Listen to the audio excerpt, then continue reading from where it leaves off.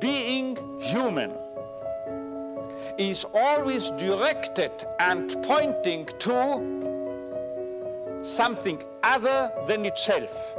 He had been blessed with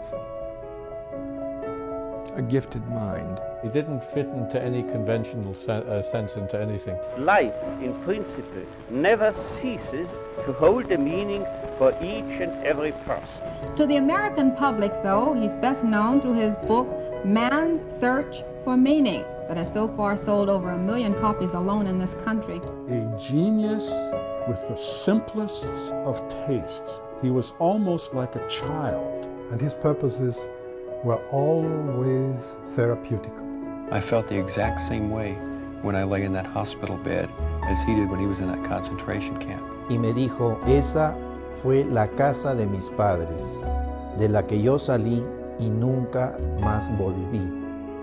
He didn't get fixated on the past and wanted to build towards the future. The barriers between people and religious groups were irrelevant to him. He was sorry for them. Und in diesem Sinne wage ich die Behauptung, dass grundsätzlich jede Nation holocaustfähig ist. It didn't sit well in many circles. He doesn't get the recognition he deserves because he never cared about it. Nobody is capable of fully understanding Dr. Frankl and what he endured